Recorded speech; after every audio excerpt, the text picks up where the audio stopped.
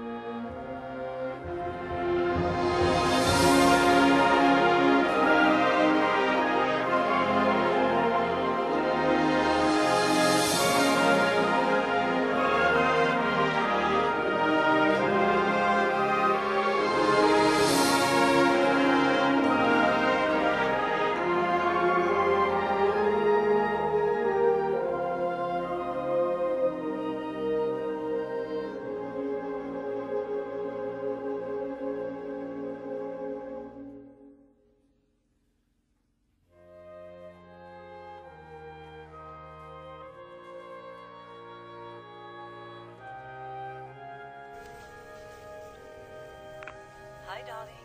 Where are you? Yeah, you just paged my husband, right? Oh my god. Mitch? Who are you? What's your name?